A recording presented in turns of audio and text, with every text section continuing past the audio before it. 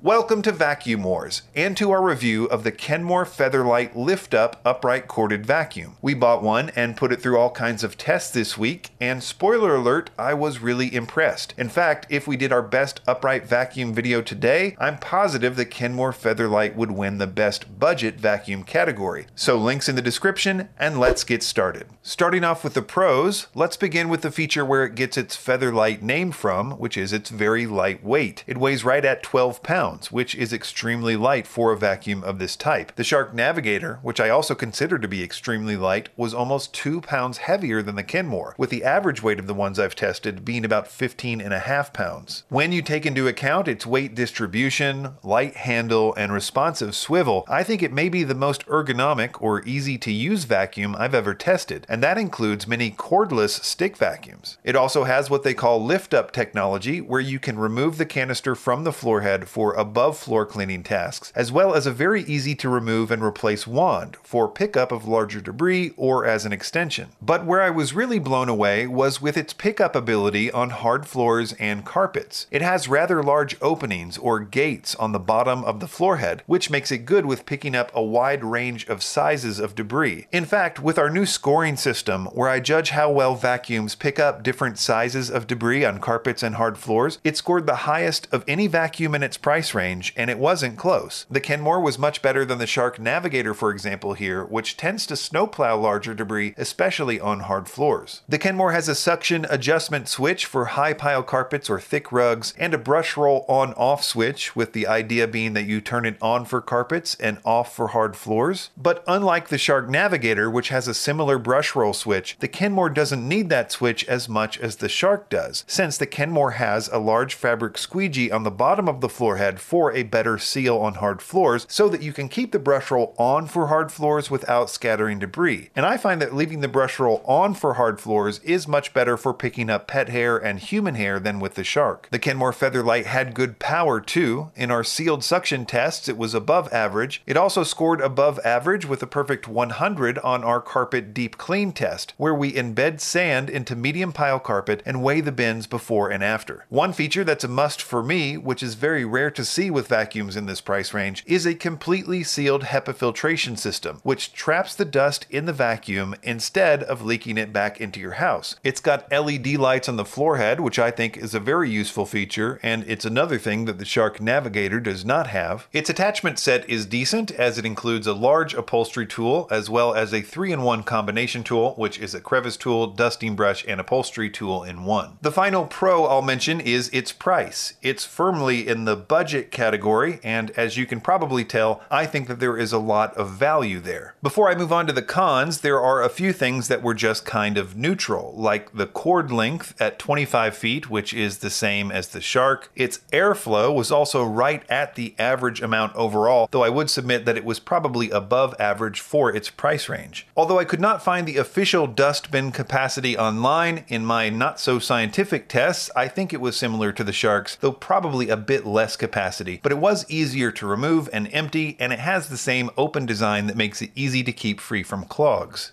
Moving on to the negative stuff, it easily got tangled with human hair, which is kind of nitpicky since every vacuum I've tested in this price range does about the same. Kenmore scored slightly below average with the crevice pickup test and the unsealed suction test, which was directly related to its larger front gates, as the crevice test and the unsealed suction test are always a trade off with its larger debris pickup. That is, if you have more space between the vacuum and the floor to allow for larger debris, it won't have as good of a seal. So it's a balancing act that all manufacturers wrestle with, but I think that the Kenmore Featherlite has really found the sweet spot of gate size and floor seal. It was also a little louder than average at 84 decibels versus about 81, nothing major but worth noting. As you can probably tell, I'm very happy with the Kenmore Featherlite lift up. Really, my only concern is that it's relatively new, and although it seems exceptionally well made and the reviews so far are very positive, there's always the potential that there's some long-term issue that I could be missing, but barring anything like that, I think I've found my new favorite budget upright vacuum, and I'm keeping this one at our house. Links in the description, and be sure to subscribe to Vacuum Wars before you leave. Thanks for watching.